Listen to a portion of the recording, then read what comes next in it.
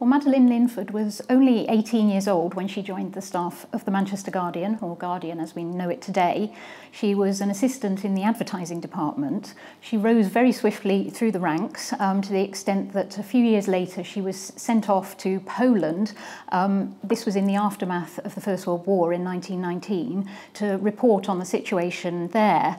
Um, she was travelling across Europe completely alone on a train. Um, the senior editors were so impressed by the reports that she sent back that she got sent um, a second time and as a result um, was appointed to um, the senior editorial team as we can see here as the only woman which was quite an incredible achievement for somebody only in their 20s at the time who'd been with the newspaper under 10 years